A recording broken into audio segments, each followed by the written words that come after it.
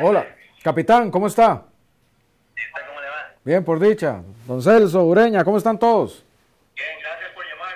No, no, gracias a ustedes.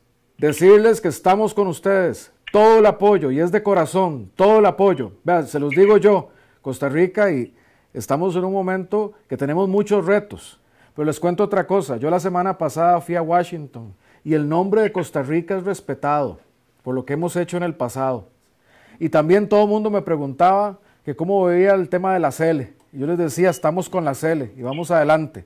El reto que ustedes tienen el viernes es grande y es difícil, pero es lo que nos ha tocado como país y ese es el compromiso como país que tenemos, dar lo mejor y combatir eso que nos afecta tanto que es la inseguridad o miedo que a veces reflejamos en falta de confianza. Que viva este maravilloso país que ustedes hoy tienen el orgullo de poder representar con esa camiseta roja.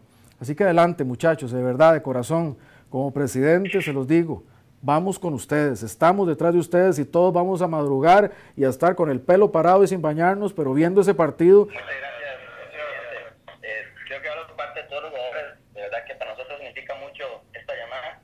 Como usted lo dice, todo Costa Rica, diferentes programas, hemos tenido momentos difíciles y hemos echado para adelante y hemos sacado a Costa Rica adelante con estas cosas. Nosotros nos toca ahora la parte del fútbol, sacar a Costa Rica en un momento que parece duro, pero tenemos la confianza también de que vamos a ir para adelante independientemente del resultado y tenemos toda la, toda la fe de que podemos lograr ese resultado el próximo viernes y poder lograr clasificar a, a la siguiente ronda. Entonces sepa que vamos a dar lo mejor. Yo sé que sí, así será, así será. Muchas gracias, de verdad, que en las buenas y en las malas una llamada esta significa mucho para nosotros. Así que ni un paso atrás, un gran abrazo muchachos, un gran abrazo, fuerza, fuerza, fuerza, unión. Eso es lo que necesita Costa Rica ahora.